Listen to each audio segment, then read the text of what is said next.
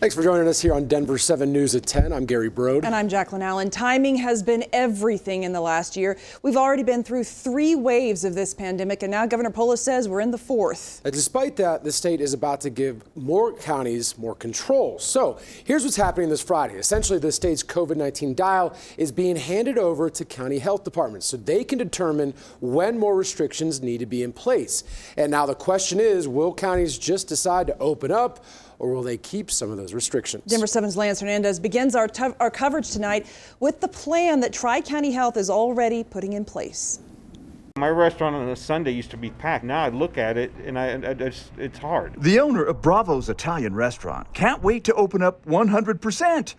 He blames the governor for a huge drop in business. People are scared to go out still because of what he talks about. The governor now giving counties control over the COVID dial. We want to get open as quick as we can, but we think next Friday's a little early. Dr. John Douglas says Tri County Health is simplifying it into two phases. Phase one, beginning April 16th, extends the current dial one month and moves all counties up one level, essentially from yellow to blue. That means 100% capacity with six feet spacing. The idea of the phase two is just a fancy way of saying we're going to observe what's happening. During the three month observation period, if the county's 14 day rolling hospitalization rate exceeds two per 100,000, they move back to blue.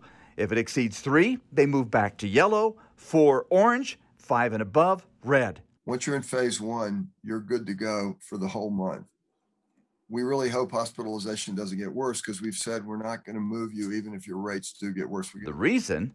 Because vaccination rates are going up. I think 100% opening up is, is a good thing. You don't think it's too early? I don't believe it is. I hear those questions. Are we moving too fast? Frankly, I hear even more loudly, are we moving too slow? Dr. Douglas says Tri County is in the Goldilocks spot between too early and too slow. At Bravo, Lombardi's mom says they're ready for the bump back up to 100%. Yes, we are. We are all ready to go. Lance Hernandez, Denver 7.